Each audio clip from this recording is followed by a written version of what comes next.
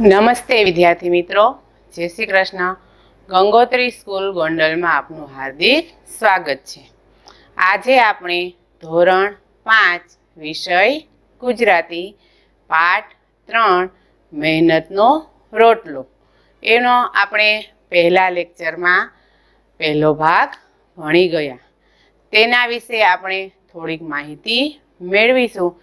ત્યાર પછી ભાગ બેમાં આપણે એની આગળનો પાઠ જોઈશું. તો આપણે આગલા લેક્ચરમાં જોયું, તો મોચી ભગત છે એ કાશી નગરીમાં રહેતો હતો અને એ ખૂબ જ પ્રામાણિક હતો. તે પગરખા સીવતો હતો.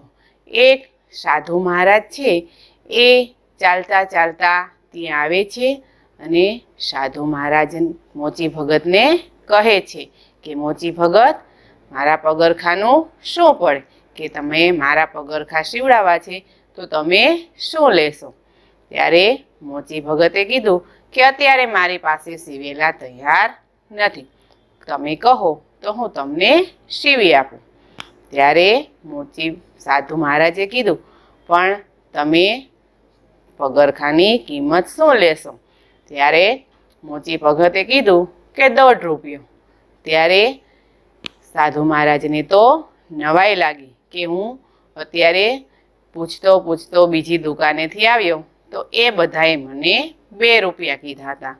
પણ પછી મેં ઓછા કરી અને દોઢ રૂપિયા સુધી આવ્યા હતા. તે સાધુ મહારાજે મોચી ભગતને કીધું, દોઢ રૂપિયા તો કહેવાના, પણ તમે લેવાના કેટલા? ત્યારે મોચી ભગત કે, જે કીધા એ જ હું લઈશ. હું ભાવ વધારતો, ઘટાડતો નથી. પછી સાધુ મહારાજે કીધું, કાંઈ વાંધો નહીં, તમે મને ક્યારે સીવી આપો છો? ત્યારે મોચી ભગતે કીધું, કે પરમ દિવસે આ જ વખતે તમે આવશો, એટલે હું તમને સીવી આપીશ. છતાં પણ સાધુ મહારાજને મોચી ભગતમાં જરાય વિશ્વાસ નથી આવતો. એ તો બીજે દિવસે ફરી પાછા મોચી ભગત પાસે આટો મારવા આવ્યા અને કહે છે કે મોચી ભગત આપણું કામ કેટલે પહોંચ્યું? તો મોચી ભગત કહે, તમને મારામાં વિશ્વાસ નથી જરાય કે મેં તમને જે સમય આપ્યો છે, એ સમયે હું તમને જરૂર સીવી આપીશ. પછી ત્રીજા દિવસે સવારે વળી સાધુને એમ થયું કે, કદાચ મોચી ભગત ભૂલી ગયો હશે તો લાવ, હું સવારમાં તેને ત્યાં આટો મારતો આવું. ત્યારે મોચી ભગતે કહ્યું કે, સાધુ મહારાજ, તમને માણસ પારખતા નથી આવડતું એ કે? શું બધા જ માણસો દુનિયામાં જૂઠું બોલતા હશે એવું તમને લાગે ત્યારે સાધુ મહારાજે કીધું, ના, એવું નથી. હું તમને યાદ કરાવવા માટે આવ્યો છું. તો મોચી ભગતે કીધું, કાંઈ વાંધો નહીં. તમે સાંજે આવી અને લઈ જાજો. હું તમારા પગરખા સીવેલા તૈયાર જ રાખીશ. આમ કહી સાધુ મહારાજ સાંજે જે સમય કીધો હતો તે સમયે આવે છે અને મોચી ભગતે શિવેલા તૈયાર જ રાખેલા હતા. સાધુ મહારાજે તેને બે રૂપિયા આપ્યા.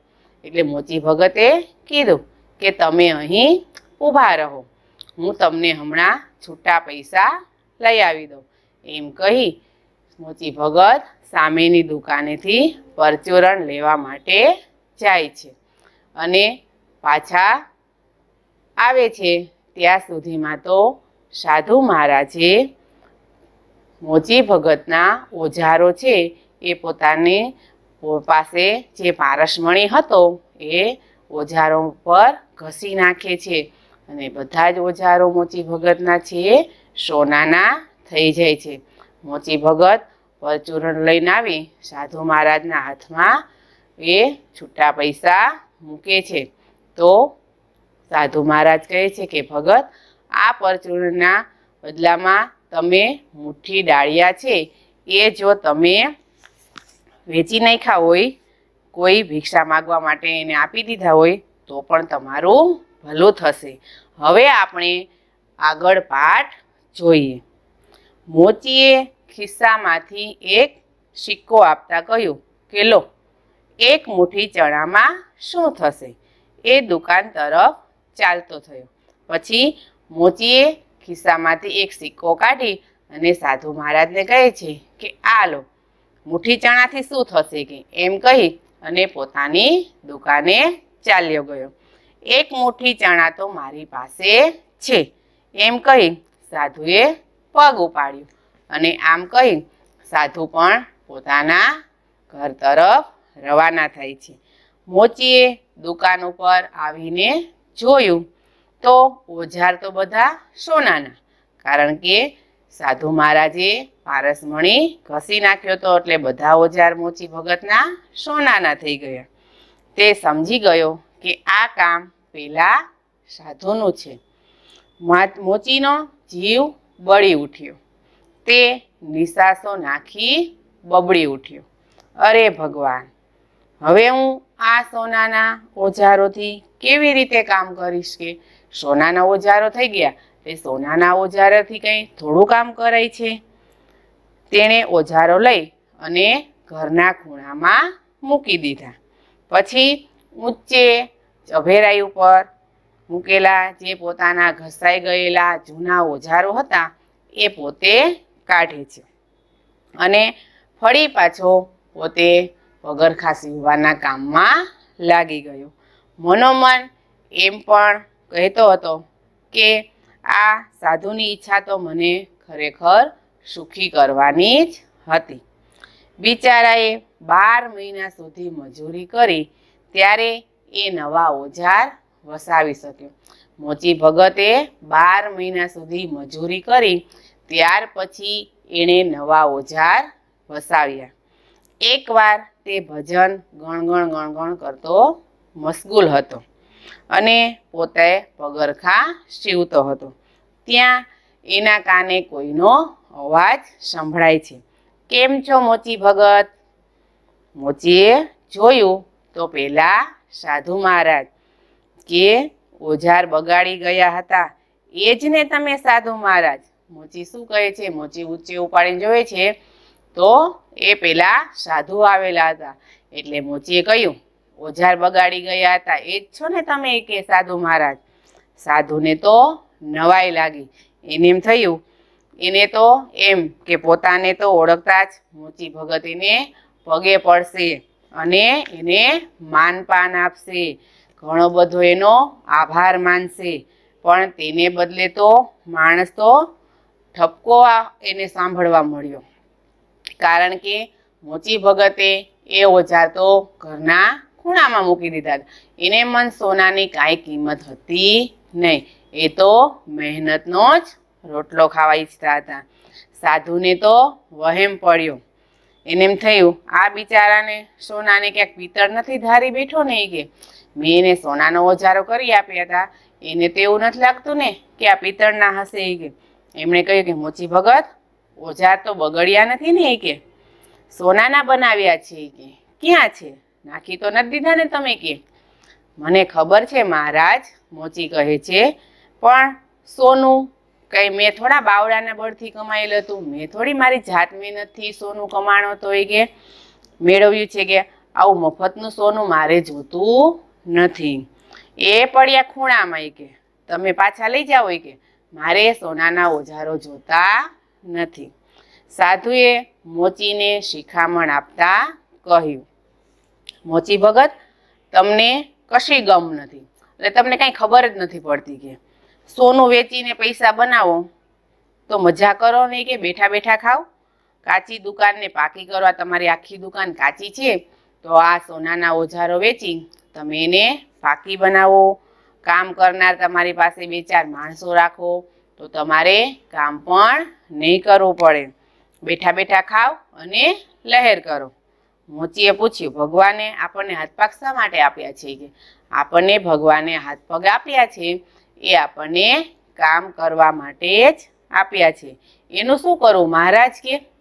નવો, નવાઈ ભરી આંખે સાધુ તો મોચી ભગતને એકી સે તાકી રહ્યા, એની સામે જ જોઈ રહ્યા.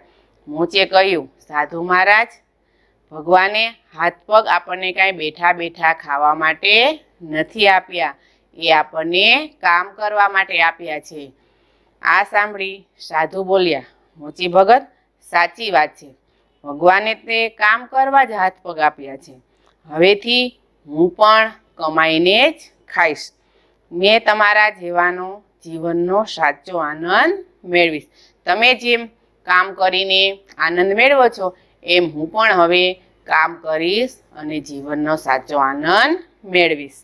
સાધુ કોઈ ઊંડા વિચારમાં પડી ગયા, કંઈક વિચારતા હતા.